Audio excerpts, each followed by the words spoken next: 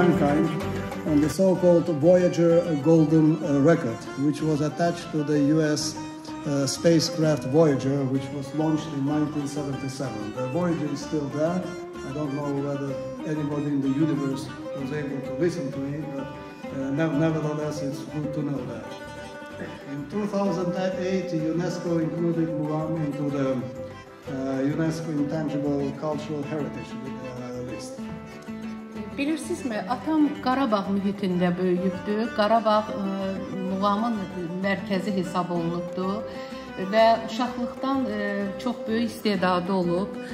3 e, oktaviyaya yaxın səsi olub, çox güclü səsi olubdu və o mühitdə o, belə tərbiyə aldığı üçün ə, uşaqlıqdan musiqiyə, muğama çox böyük marağı olmuşdur.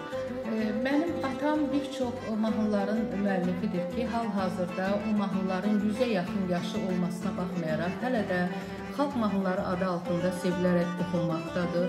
Hətta bəzi muğamlarımıza əlavələr edərək onları daha da təkmilləşdirmişdir.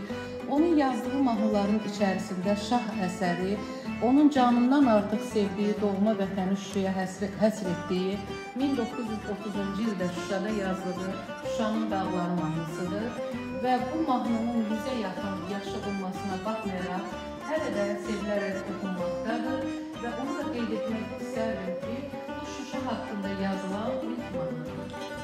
Singer Khananda, who often plays on gaval at the same time, leads the performance, delivering beauty, magic, and philosophy of the masterpiece. Thank you. What is what is it about its history about Mugam? Its history, but also its meaning to the Azerbaijani people. Can you tell us something about that? Karabakh Mugam School started to be formed in a professional way on the second half of the 19th century, particularly in Shusha, transforming from the traditional folk, folk music into the national classic music genre.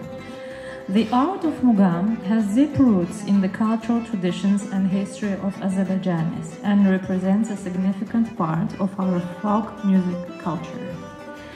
Initially, Mugam was performed on weddings and other special occasions.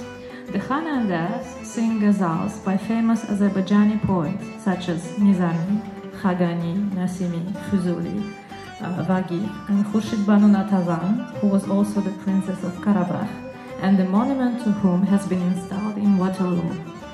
It was Shusha, Conservatoire of East, that gave the world the most outstanding Khan.